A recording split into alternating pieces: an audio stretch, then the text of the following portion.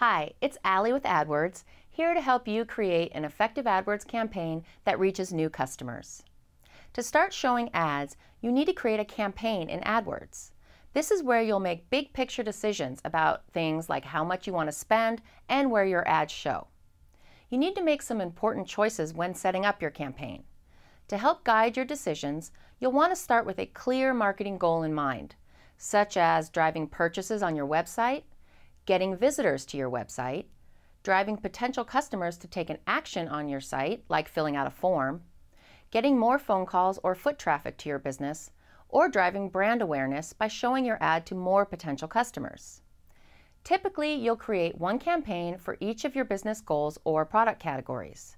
For example, if you sell women's shoes, you could have one campaign for athletic shoes and another for women's dress shoes, and so on. Once you know what you want to achieve with your ad campaign, you'll find it much easier to decide which AdWords features can help you get where you want to go.